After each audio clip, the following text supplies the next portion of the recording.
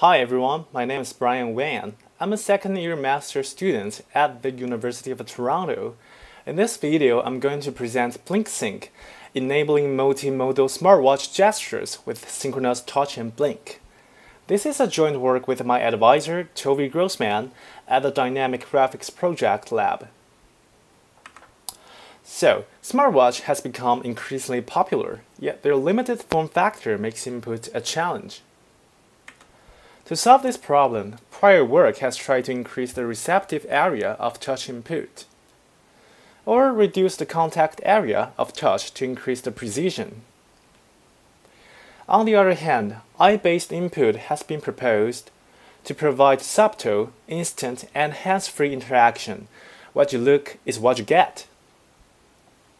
However, human eyes are meant to serve as perceptive organs and did not evolve to be fully controllable. As such, they are prone to false activations. Everywhere you look, another command is activated, namely the Midas touch problem. So, we ask a question, if individual inputs are limited, can we combine them together to solve each other's limitations? Actually, combining eye plus touch input isn't the news. Prior work has investigated how to use these two input modalities sequentially to enable novel interactions. For example, Using gaze to select an item, then use touch to manip manipulate on the tablet. Or in a desktop setup. A user can use their gaze to move the cursor instantly between distant areas on the, on the screen, then use the mouse to fine-tune the selection. However, prior work usually only used eyes to supplement the other primary inputs and the interactions were mostly sequence-based, such as gaze select first, then touch manipulate. We instead wondered why don't we let the two inputs complement and reinforce each other's? We hope to use touch to reduce the false activation problems of eye input, and we want to use eye input to augment the touch input when the input expressivity is limited, for example, when using a smartwatch. To do so, we propose the concept of a mutual delimiter. We first start from a delimiter. What is a delimiter? Let's say we have a timeline here, and we have a series of input signal. The use of a delimiter is to delimit a certain interval of that signal where the same input should have different meaning or functions. For example, when you press the Control key and click on items, the clicks will have different behaviors then the control key is a delimiter of the mouse click. So what is a mutual delimiter? Let's say we have signal 1 here, and it's delimited by another signal. And at the same time, signal 2 is also delimited by signal 1. So both inputs delimit each other at the same time to solve each other's limitations. Our goal is then to find out a gesture set that could serve as mutual delimiter to enhance both inputs together. So we first look at a larger design space for eye plus touch input.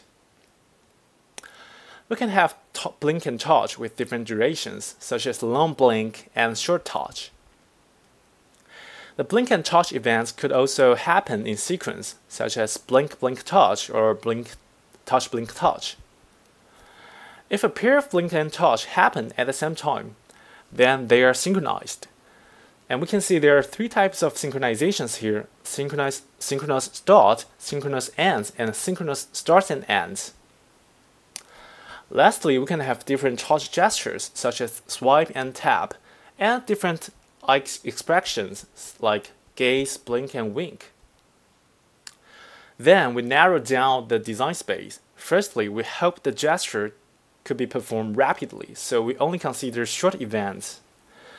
For the same reason, we, we also didn't consider sequential input. And we did not consider gaze in the gesture design, but it turned out that gaze can be incorporated for some use cases, which I will discuss later. And we discarded winks because it's not easy to, perform, to be performed for everyone. So, here's the final design considerations short synchronous blink and touch events, we present BlyncSync, a gesture set enabled by performing a pair of synchronous blink and touch on a smartwatch. To perform a BlyncSync gesture, users simply need to blink and touch on the smartwatch at the same time. Then, we have these gestures. We were curious about how often with this gesture, a, a, pair of synchronous touch and blink happens uh, spontaneously. To answer the question, we conducted a 12 participants user study gathering blink and touch data during normal use to understand the probability of false activations of this gesture. We designed four tasks with different task intensity and platforms. The two smartwatch tasks are using calculator and reading newsfeed, and the two paper tasks are solving word puzzles and reading articles. We collected both touch and blink data during the study. Here's a breakdown of the rates and durations of the blink and touch. As expected, touch rate is higher for calculator, which requires more tapping on enter to enter formulas, while the touch duration is longer for newsfeed, which requires more dragging to browse news. For both smartwatch and paper tasks, the blink rates dropped when the task intensity increased. The blink durations were consistent across different tasks, but it's a little bit lower for solving word puzzle. It could have been due to a heavier visual workload. And remember that the goal is to find out how often would a synchronous pair of touch and blink happen. And our results show that it's actually rare for users to perform this gesture spontaneously. Here's a plot of the calculated offset. Each dot in the plot is a touch event, with its x coordinates representing the start offset with its nearest blink event, while the y coordinates represent the end offsets. And we can see that the dots are quite sparse in the central region with only less than 2% of the data points falls within the 250 millisecond threshold. We also found that if we consider both start and offsets, we'll get a lower false activation rate. Therefore, the final BlyncSync gesture consists of a blink synchronized with either a tap or a swipe in four directions. And the blink and touch events need to be synchronized in both start and end with a 250 millisecond threshold.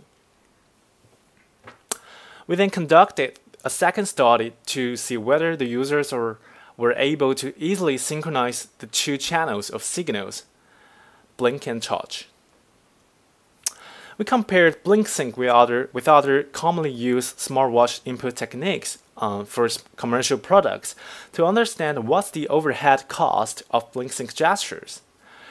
Uh, these two techniques were touch after pressing a hardware button and normal touch.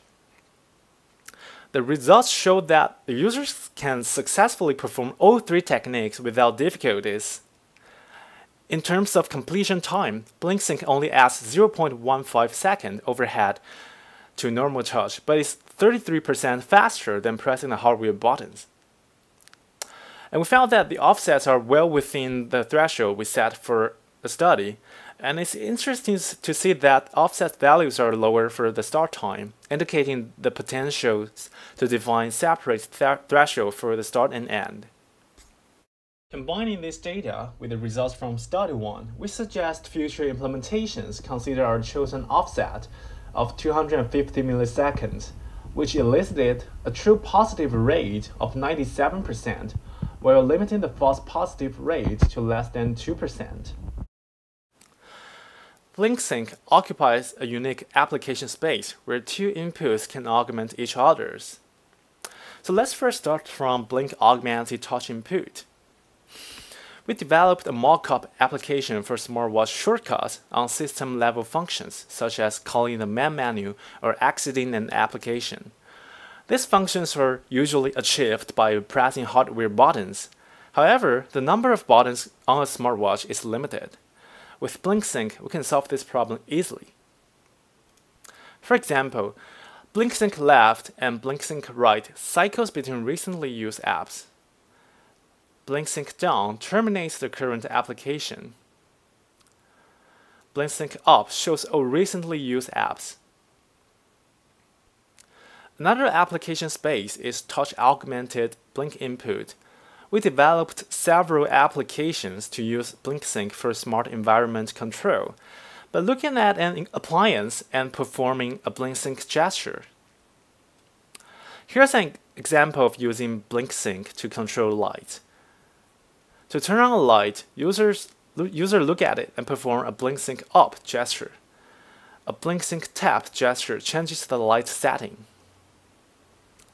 And a BlyncSync, down turn off the light.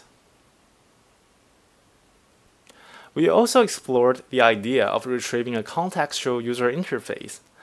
If the user looked at a device and performed a BlyncSync gesture, a UI would be extracted from the device to the smartwatch for the user to control. Finally, BlyncSync can be used to transfer information from smartwatch to other displays, such as laptops or televisions.